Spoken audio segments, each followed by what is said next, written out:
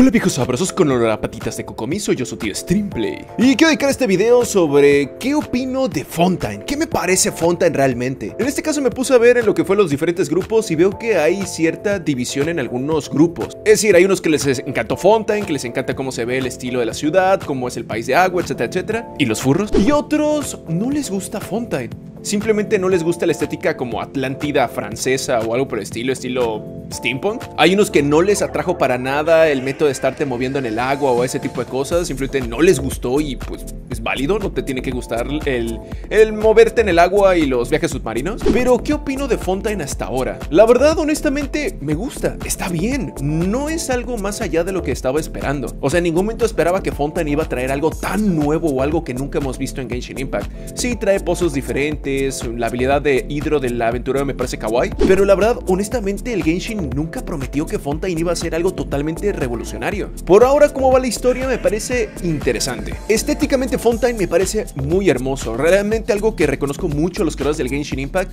es el talento que tienen para crear mapas. Es muy hermoso. No solamente como hicieron con Sumero, Monster, Inazuma y todas las demás naciones, yo creo que realmente se ha notado que han mejorado bastante los creadores de mapas. Y eso es algo que quiero reconocer. Por los personajes que tenemos ahora, pues como lo dije, no voy a tirar por Linet. Perdón, Linei. Confundo esos dos hermanos, lo siento. Y en general realmente creo que es un muy buen apartado de parte del Genshin Impact. Está bonito, está kawaii, no es nada nuevo, no hay nada que yo diga, wow, esto es muy original dentro del Genshin Impact, porque realmente el estilo de juego ya está hecho, ya tiene unas mecánicas y no va a cambiar. Hay unos que han querido que Genshin Impact se vuelva Dark Souls, que tenga mayor dificultad, y la verdad es que eso no va a pasar. Y ahí quiero dar tal vez el único defecto que yo podría decir de encontrar una nueva región. Técnicamente hablando, si tú eres un jugador veterano, ya estás bien buldeado, bien equipado y ese tipo de cosas, la verdad pasar Fontaine es realmente muy fácil. No hay verdaderos desafíos, si es que tienes personajes bien buldeados. Yo podría decir que Fontaine puede ser muy divertido y algo desafiante si es que eres un jugador nuevo que apenas está teniendo su primera build de personajes de nivel 90 todos. Pero algo que yo en particular me frustra un poco es que ya no veo dificultad en el juego. Sí, ya sé que en el abismo me cogen, ya lo sé, ya lo sé, en el abismo me masacran. Pero dejando el abismo, realmente más allá del abismo no hay ningún desafío en el juego. De nuevo, al fin y al cabo, como lo dije, Genshin Impact no es Dark Souls ni está buscando ser un juego súper difícil,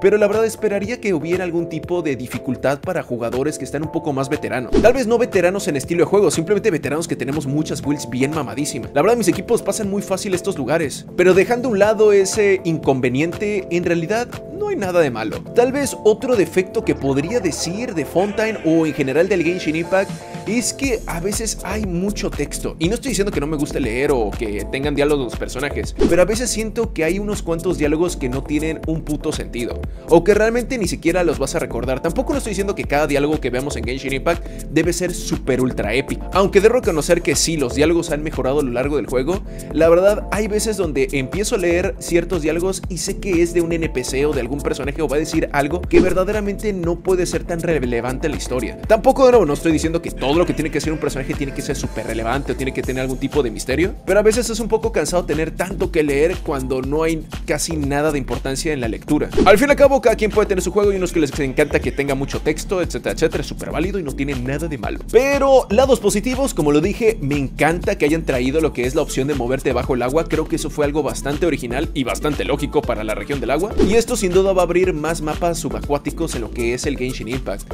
No me sorprendería que en un futuro los mundos subacuáticos también tengamos opciones en Inazuma, en Monster y otros lugares. Aunque no es lo que más me emociona tener mundos subacuáticos, pero debo reconocer que eso sí fue algo que me pareció bastante lindo que lo trajeran. Por Fontaine, realmente creo que Fontaine se ha vuelto mi segunda nación favorita. Mondstadt sigue siendo mi primera nación favorita, pero realmente estéticamente Fontaine se ha vuelto mi nación, bueno, una de mis naciones favoritas. De nuevo, depende de gustos. Hay unos que les gusta más el estilo árabe, el estilo japonés, es súper válido, pero a mí yo creo que el estilo así como acuático, francés y súper tecnológico, bueno, tecnológico del estilo de Fontaine, me gusta, me gusta bastante. Pero si somos realistas, es cierto, no trae tantas cosas nuevas esta nueva región.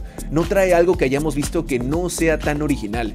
Nuevos jefes, nuevas herramientas, nuevos estilos de combate y está bien. Y de nuevo, no me estoy quejando. Simplemente me saco de onda porque mucha gente esperaba que Fontaine iba a traer así algo totalmente revolucionario, casi casi como Genshin Impact 2. Así que le doy a Fontaine un 8. No es la región más emocionante que he tenido hasta ahora, pero está bien. Es una buena región. Tal vez siento que la región que más me trajo emociones en el Genshin Impact fue Inazuma porque tuvimos que enfrentarnos a la Shogun Raiden. En cambio, aquí en Fontaine siento que todo es demasiado pacífico. De nuevo, no digo que cuando llegues a una nueva región todo el mundo te quiera agarrar a putazos, pero creo que sería interesante de vez en cuando entrar a una región donde tú, pues, te quieran agarrar a golpes, aunque creo que eso va a pasar en Sheshnaya y en Atlan. Al fin y al cabo, me gustó, me parece buena la región, la recomiendo, sí está divertida y obviamente hay un chingo de protos y personajes por venir. Como ya lo he dicho, yo personalmente me estoy ahorrando todas mis protos por Mami Arlechino deliciosa. Y la verdad dicen que los banners de Linei no venden mucho. Así que dime viejo sabroso, ¿qué opinas de la nueva región de agua? ¿Te ha gustado? ¿Te ha parecido chida? ¿Te la has traijardeado o ya la abandonaste? Obviamente nunca faltan los vatos que ya literalmente ya están pidiendo ¿y para cuándo Natlan, Ya se debieron haber traijardeado todo Fontaine. Así que pues disfruten el juego, realmente como lo digo, no intentes pasar la aventura tan rápido porque pues eh, toda esta historia la vas a comer bien rápido. O sea, es decir, no intentes engullirte toda la historia, ve a tu ritmo y ve a tu velocidad y disfrútalo. Eso sí, evita los spoilers, no veas Cinematic. Como se dan cuenta que yo no puse nada de spoilers en el video. Pero tú dime, veo sabroso, ¿qué opinas de Fontaine? ¿Te encantó? ¿Te excitó? ¿Te prendió? ¿O te parece caquita? Escribe cajito en la caja de comentarios. Recuerda que tu cremoso tío Streamplay streamea todos los martes, jueves y sábados en Twitch. Nos vemos a la próxima videos sabrosos y recuerden que ya estoy empezando con mi proyecto de subir más videos más allá de Genshin Impact. Aquí les dejo una miniatura de uno de mis videos más viejito y que se hacen con mucha edición y con mucho amor. Nos vemos a la próxima videos sabrosos. Chao.